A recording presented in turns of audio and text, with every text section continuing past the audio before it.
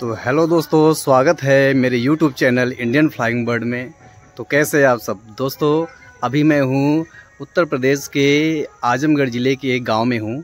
और दोस्तों, यहाँ बिल्कुल ही जो भारत देश का जो गाँव बसता है, जहाँ ग्रामीण क्षेत्र है, वहाँ पर मैं हूँ दोस्तों। और दोस्तों, मेरे पीछे आप देख रहे हैं घर, जो कि पहले के समय के जो घर थे जिसमें कि मिट्टी की दीवार होती थी और साथ में ऊपर जो टाइल जो का जो है कि छत हुआ करता था, वो सब है दोस्तों। तो आइए आप सबको दिखाते हैं और घुमाते हैं आपको भारत देश का प्यारा सा गाँव दोस्तों, जिसमें आपको बहुत कुछ देखने को मिलेगा। शायद कुछ देर में, यानी कि कुछ सालों में ऐसा कुछ जो आ, मिट्टी के मकान और ये सब जो है जो रूरल विलेज होता है वो आपको देखने को नहीं मिले दोस्तों। तो आइए आपको दिखाते हैं अपने देश का प्यारा सा गाँव।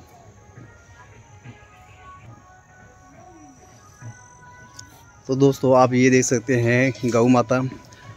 गौ माता का बच्चा एक छोटा सा साथ में इधर गौ माता चारा खाते हुए और ये दोस्तों एक स्टोर बनाया गया है जो कि घर, जो कि यहाँ पर सब सामान जैसे कि भूसा हो गया और भी जैसे चारा वगैरह हो गया और यहाँ आप देख सकते हैं जिस पे रोटी पकती है, वो सामने बना हुआ है।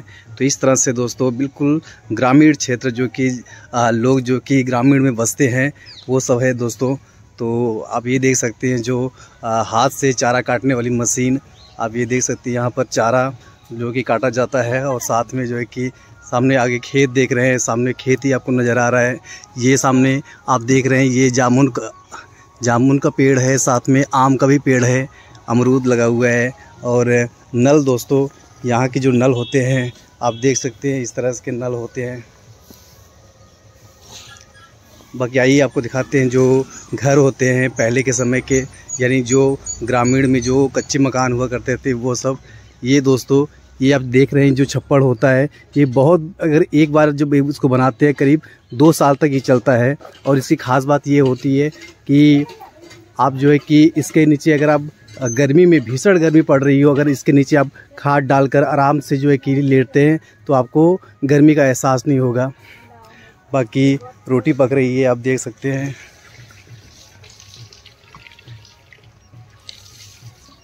चलिए आइए, आगे आप दिखाते हैं दोस्तों। चलिए दोस्तों, आपको इस पुराने और खूबसूरत, प्यारे से मकान के अंदर चलते हैं। और अंदर क्या कैसे क्या इस स्ट्रक्चर कैसे पहले के समय में जो बनाया गया है, वो आपको दिखाते हैं। तो आप देख सकते हैं, ये इसकी, इसका एंट्री गेट है। देख सकते हैं, बिल्कुल छोटा सा दरवाज़ा लगा हुआ है और इस प्यारे से मकान में हम इंटर किए। और जैसे ये इंटर किए तो आप देख सकते हैं। दोस्तों, ये मैं आपको दिखा रहा हूँ। इसको, इस वीडियो को पूरा आप देखिएगा। आपको बहुत मज़ा आएगा और बहुत आपको नॉलेज मिलेगी। शायद आप अपने समय में, आने वाले समय में ऐसे मकान, ऐसे घर आप नहीं देख देख पाओ। देख सकते हैं। ये एक सिल्फा टाइप बना हुआ है यहाँ सामान रखने के लिए। यहाँ माता की फ़ोटो है। और ये जो तखत होता है वो है। और ये देख सकते हैं दोस्तों डबल फ्लोर है इसके ऊपर। अनाज, गेहूँ, धान, चावल यहाँ पे रखा जाता है।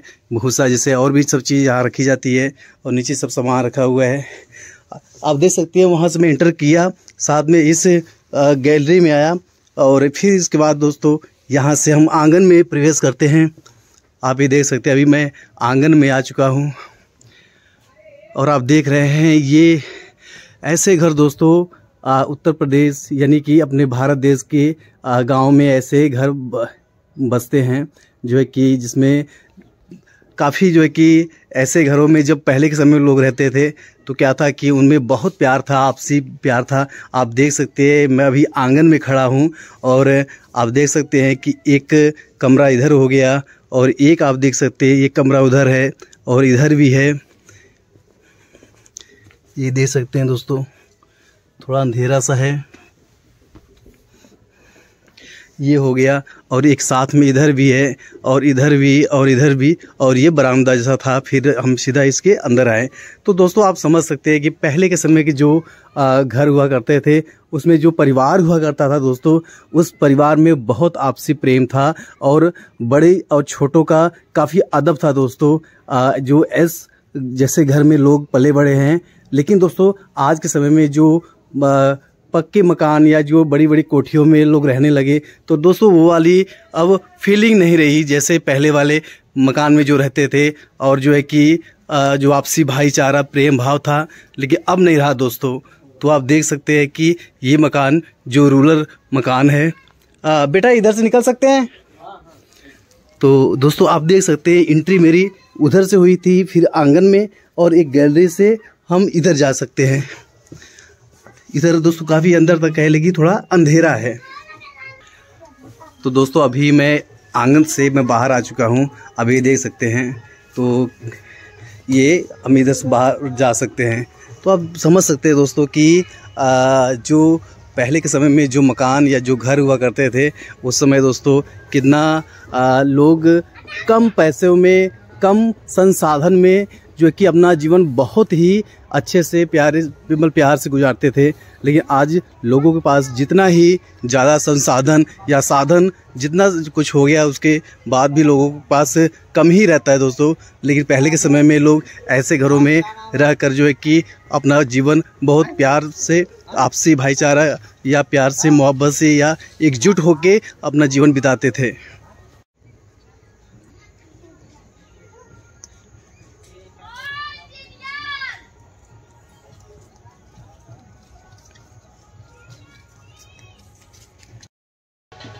दोस्तों, क्या है कि जब भी अपने उत्तर प्रदेश की आप किसी गाँव में जब जाएँगे, किसी के घर पर जाएँगे तो आपको दोस्तों बाकायदा गुड़ होता है ना, जो देसी गुड़ होता है या बिस्किट होता है तो वो दे के आपको पानी जो है कि पानी साथ में देंगे। क्या होता है दोस्तों, हम कई जगह हम लोग गए, जाते हैं, क्या होता है कि शहरों में भी देखा जाता है कि लोग पानी से पकड़ा देते हैं तो पर जो गाँव होता है दोस्तों, गाँव में क्या होता है कि इस तरह से आपको कोई कोई भी मीठा हो चाहे चीनी या गुड़ हो चाहे बिस्किट हो वो आपको दे के फिर पानी दिया जाता है। तो दोस्तों ये गाँव होता है। गाँव में इस तरह से किया जाता है।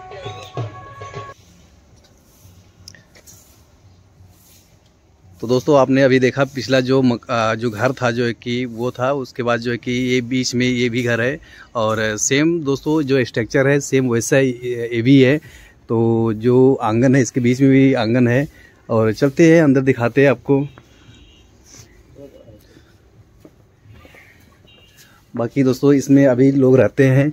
ये देखिए दोस्तों, जैसे पहले वाले मकान में आपको दिखाया था सेम वैसे इसमें भी है। इसमें भी डबल फ्लोर है, आप देख सकते हैं, ऊपर सामान रखा हुआ है।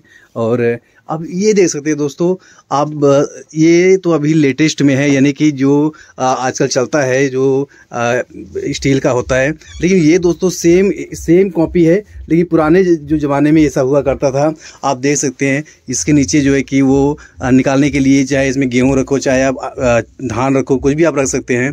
तो दोस्तों, ऊपर ढक्कन सा बना हुआ है, मिट्टी का ही है, और इसमें भी बाकायदा आप रख के काफ़ी देर तक स्टोर कर सकते हैं। जब आपको निकालना हो तो आप यहाँ से इस कपड़े को निकालेंगे तो आप जो भी गेहूँ, चावल हो या फिर धान हो, आप निकाल सकते हैं। चलिए दोस्तों, अंदर चलते हैं, आपको दिखाते हैं। तो दोस्तों, अभी वाक क्या बात है, अभी बिल्कुल जो घर का आँगन है उसमें आ चुके हैं दोस्तों।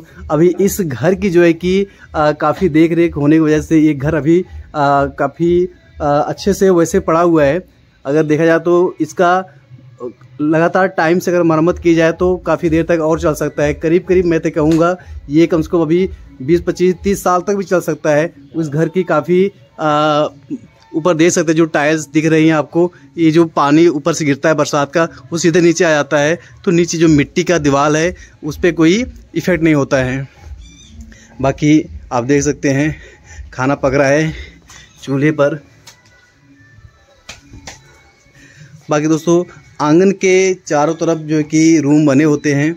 आप देख सकते हैं इस तरह से कई आ, आ, जो रूम है उसमें दरवाजे लगे हैं और कई में नहीं लगता है।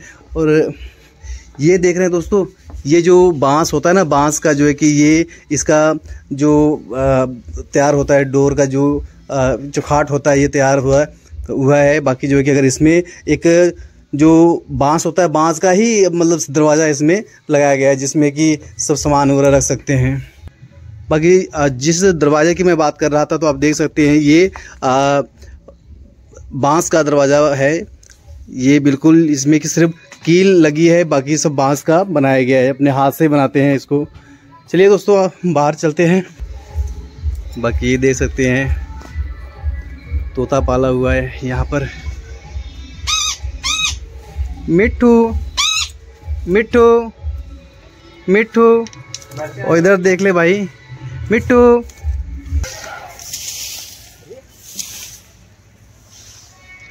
और दोस्तों, सामने आप देख रहे हैं, ये जानवरों का घर। जानवरों का घर कैसा होता है, मैं आपको दिखाता हूँ। ये है भैंस का बच्चा। और देख सकते हैं दोस्तों, जो गाय, भैंस का जो घर होता है, इस तरह से होता है। क्योंकि यहाँ जो इनका नाद होता है, नाद बोल, बोलते हैं, और हमारे यहाँ तो हौदी बोलते हैं, हौदी, इसको हौदी बोला जाता है। दोस्तों, जानवर जो रात को इधर बाँध देते हैं, ताकि वो आराम से अपने हौद में खाना खाए और दिन में उधर बाहर कर देते हैं। तो इस तरह से ये जानवरों का घर है। तो दोस्तों, उम्मीद करता हूँ ये वीडियो आपको बढ़िया लगी होगी और आपको अपने देश भारत देश का एक प्यारा सा गाँव का एक प्यारा सा घर आपको अच्छा लगा होगा। तो दोस्तों आ, मिलते हैं एक नई वीडियो में। अगर आपको ये वीडियो अच्छी लगी तो मेरे चैनल इंडियन फ्लाइंग बर्ड को आप सब्सक्राइब करिएगा। तो ठीक है दोस्तों मिलते हैं एक नई वीडियो के साथ। तब तक के लिए थैंक यू। धन्यवाद आप सभी का।